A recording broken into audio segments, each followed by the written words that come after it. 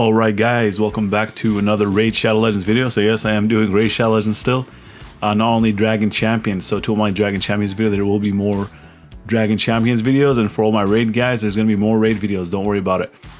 So today we're going to be doing the definitive guide for Fire Knight 20, so Fire Knight's Castle.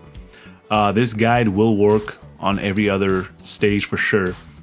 If you want to run it on Fire Knight 20, so my guide assumes that you have all champions maxed out so that's including mastery, skills, artifacts, accessories. So because this is endgame content if you're running Fire Knight 20. If you're running other uh, lower stages, you might get away with um, not completing every single thing on a champion, such as skills or um, not having artifacts plus 16, things like that, and accessories. So we're going to be discussing my team. Uh, we'll, I'll show you my team. It's basically like a puzzle. Every person has a role. Having champions with multiple roles is obviously much better. And you can see that my best time is 5 minutes and 49 seconds. I don't know if that was manual or on auto, but we'll see when I do my team. So yeah, we're going to discuss my team, the roles they fill, and we'll also have replacements to fit the puzzle. So for you guys, and uh, just quick note, this guide will also work for other levels of Fire Knight. So again, I gotta stress that because some people are gonna see the video and then they don't want to watch because they think it's only Fire Knight 20, but it will work on other levels. So I was using Vrask on my team because I love the way that he AoE heals, but I switched him out for Apothecary. So we're going to be running Apothecary now because he's one of the guys that I mentioned on my list that you can use because he has a triple hit on his basic attack. So yeah, so we're going to run this in, Martyr lead, so increase all ally defense in all battles by 33%. Uh, there are many other champions that have the same aura skill, but they are uh, specific to dungeons instead of the universal one that Mar uh, Martyr has. I'm using Maulie Tankard as a provoker. I'm running Cold Heart for the uh, quadruple hit, heal reduction. Yeah, we're just getting over this. Uh, I start the fight and we'll talk about it. So we're going to talk about mechanics first because the first thing we need to discuss about the Fire Knight fight is the mechanics. So knowing the moves of your enemies will allow you to find out the strengths and weaknesses and then we can minimize casualties and maximize strengths. So Fire Knight's A1, by the way the Fire Knight's name is Fyro. Uh, yeah, we're the bad guys here because we're attacking the Fire Knight, not he's attacking us. So we invaded his uh, castle. So we are actually the bad guys. We're trying to loot it. so his A1, uh, Searing Storm. It's an AoE attack, attacks all enemies, decreases enemy max HP by 15% of the damage dealt. A2, Dazzling Flames, attacks all enemies and he places a 30% decreased speed debuff for 3 turns. So you can see all of his abilities are AoEs. Uh, he has, his passive ability is what makes this fight uh, very uh, interesting, if you ask me. His passive is a Cloak of Fire, so he starts the battle with Divine Shield, and then the shield reduces damage fire received by 80%, so you gotta get that shield down before you can do any damage. And he also prevents debuffs when that shield is up. Uh, the shield can cannot be removed with abilities that can remove uh, buffs, and the shield has a durability of 10 and can be broken when hit enough times. Uh, the shield regenerates every turn, so if Fyro gets a turn when the shield is up, he will attack all enemies, and then he decreasing their uh, while decreasing their max HP and healing himself. The value of the heal and the damage dealt increases according to the strength of the shield at the time of the attack. So you gotta make sure you get that shield down. So what roles do we need to fill in order to complete this fight in auto? So you will need champions that can cover multiple roles if possible. So champions with multi-hits and heal reduction excel in this fight. Fyro Shield has a durability of 10 as I said before, so having champions that can quickly uh, take you down with multi-hits is essential. It's crucial. If his shield is up, he resists all debuffs such as the important ones which are the heal reduction as I said. And another one is not a debuff that I want to mention is the turn meter reduction. That is very good in this fight. You can reduce your clear time by a lot.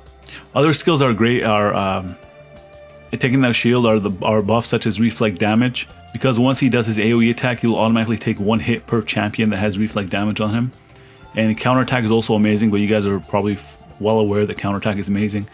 But some people do not have a Skull Crusher, Martyr, or Valkyrie, so those are the three champions that have AoE counterattack. Uh, we will discuss replacements for that buff later. So there are plenty of multi-hitters in the game, so I'm not going to be able to cover all of them. Uh, the multi-hitters that I'm using are uh, Tomb Lord, because he has turn meter manipulation, a triple hit, and he has uh, poisons on it, so that's a bonus. As well as an AoE decrease attack and decrease defense, as you can see on these minions right here. So he's not going to be easy to get, so great replacement is Rhazin, uh, who can be obtained by permanent fusion. So Rhazin has turn meter manipulation as well as a triple hit, And he can also place weaken and decrease defense, which will allow you to do more damage on the Fire Knight. So yeah, technically Rhazin is free to play. I think a lot of people have him by now. Uh, Cold Heart is another multi-hitter. So I use Cold because she's amazing in this fight. She has a quadruple hit on her basic attack as well as 100% heal reduction. And she has turn meter manipulation with a bunch of damage on her A3. The only issue with her is that she is squishy, so she's susceptible to death. So you're going to need provokers uh, such as Maulie, what I have. We're going to be discussing provokers later uh, to keep her alive during the fight. And another problem is her AI. So she uses Heartseeker when the shield is up. And um, a good thing about her is that she combos very well with a counterattack strat. So she has counterattack on her. Uh, and this guy AoE, she's gonna hit with four hits right there. We just lost Cold Heart, but Maulie's here to bring her back to life. So that's one of the issues with her, as I said. Uh, Tayrel, so I am not using Tayrel, but he's a good choice for a multi-hitter. He only has double attack, but that's that's okay because the rest of his kit is amazing in this fight. It has decreased attack on his basic. He's useful in dungeons, so I would highly recommend building Tayrel. And he can also decrease turn meter and place, place decreased defense on the Fire Knight. So Apothecary is the guy that I'm using, triple hit on his basic attack. Uh, he's an amazing support. He can heal and provide speed up and turn meter boost. So going faster means you get more hits in so you can take down that shield. So we talk about Rowan. So she has multi-hits on her A2 and A3 and her basic attack can apply 100% heal reduction. She also has poison and is capable of stunning some of the mobs in the first two waves. The only issue like most attack champions that she is also squishy, it's like Cold Heart. Uh, for a rare champion, we're going to discuss Hyria. So she's a great choice for Fire Knight, but it will be extremely difficult keeping her alive uh, to do anything in the last phase. So I would highly recommend using her if you have a Reviver and Provoker such as Maulie. Uh, she has an ability that can call on her allies to assist. So every single ally that you have, even the um, multi-hitters, they're going to be, everyone's going to be using their basic and then she's going to be doing a lot of damage. Probably take down that shield real quick. Uh, Frostbringer, she plays the role of a multi-hitter as well as being able to apply 100% heal reduction on her basic. Uh, she's also a buffer and can be used as uh, the lead in the dungeon. Her aura skill is universal, so it increases defense in dungeons by 33%. So she can take the role of um, martyr. I think I'm going over too many multi-hitters, but um, I'm almost done. So let's talk about Light Sworn. He's amazing. He has a triple hit basic attack. He can decrease attack and decrease speed at the same time on his A2 and he can apply increased defense and revive on death on all allies. So he plays the role of triple hitter and buffer. Great choice for uh, Fire Knight 20. Skull Sworn. So Skull Sworn is a rare, he's farmable. He's amazing for this fight. He can hit a bunch of times with his A1, and he can also apply a counterattack on himself. So he gains turn meter based on his crits. So he'll be going often and can almost single-handedly take down the shield. Uh, he's a farmable champion, so you guys can check out my guide on him. Um, in that guide, I said that the additional hits do not count against the uh, against the shield, but they actually do. So that was a mistake there. So there's too many multi-hitters in the game. So we're going to move on to the heal reduction champions. Let's see what we got first. Uh, defense percentage, crit rate, flat stats, stun. I'm going to sell that for 81k. So that was six minute run time. So I guess that wasn't on that wasn't auto right there. So she did 1.5 mil even though she kept dying. All right, so we're gonna run this back and we're gonna keep going. So uh, heal reduction. So I am using Cold Heart as I said. So yeah, she is amazing. Um, she's as I said, she's squishy. Yeah, not, not not much else to say. She's amazing for the fight. So the heal reduction subs. I'm not gonna go over Frostbringer again. She does have heal reduction, and the other uh, champions I mentioned in the multi hitters category, such as uh, Cold Heart. So Kalia, she was on my list of champions in the Ice Golem 20 video, and here she is again. So her A2 ability can place 100% heal reduction, and she also has a triple hit on her A3 ability, and she synergizes with Ator, or Ator, I don't know how to pronounce that guy's name still, who can be used as an off-tank slash provoker, so her HP burn is a bonus in this battle.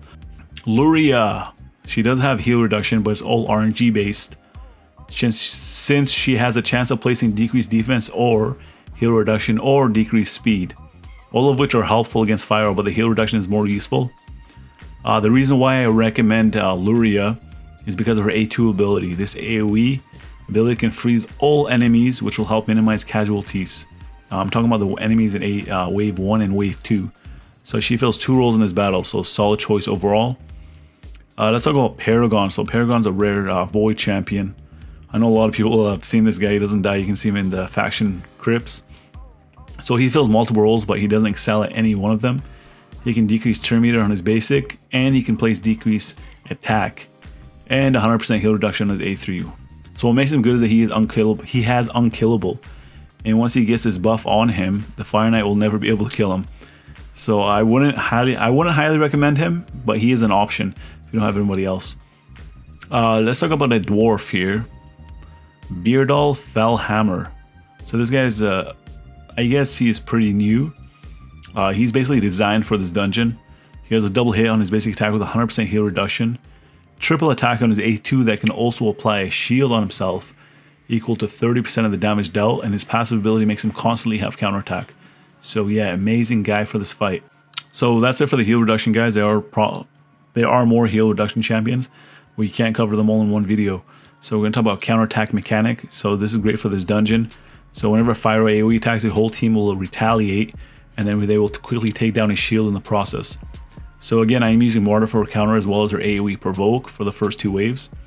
And since there's only three uh, counterattack champions, as I said, the AoE counterattack champions, Martyr, Valkyrie, and Skullcrusher, we will discuss a way to make up for it for those that do not have those three. So the way to make up for it is through a single target counterattack, or using champions that are able to apply reflect damage on all allies. So reflect damage counts as one hit per champion it fire uh, AoEs.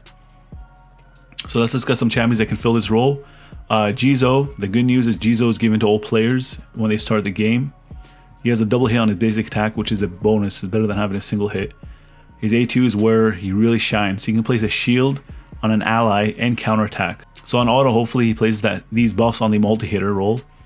And the good news is he is granted another turn after he applies the buffs. Uh, Seneschal places counter on himself and then he's also capable of uh, provoking. So he can play two roles in this battle.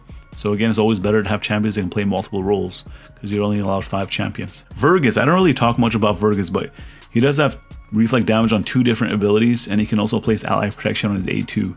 So he can also be used as the aura skill leader in this dungeon so because he increases defense by 33%. Uh, Fellhound. I know there's a lot of, uh, he's like a fan favorite. He is a rare void champion. So honestly, he would be my go-to champion if I didn't have Martyr. I mean, I didn't build my Fellhound because of that reason. Uh, because he's capable of placing reflect damage on all allies, so that's an AoE one, as well as a continuous heal. So his decreased speed and on his AoE basic are great for this fight. And he's also capable of placing block damage on one ally for one turn. So there were some that were listed at a different role previously, such as Skullsworn and Baerdal Fellhammer, so I won't be going over them again, because um, Skullsworn can place counterattack on himself and Baerdal as well.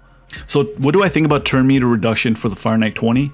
So I personally I think it is, it's optional, but it's very very good for this fight. So you can win without it, but it's very good for the fight because it will help clear the, um, it will help you with your clear time, as well as minimize casualties once you reach uh, Fyro. So Rhazin I already discussed, Coldheart I already discussed, and Tomb they all have uh, turn meter reduction.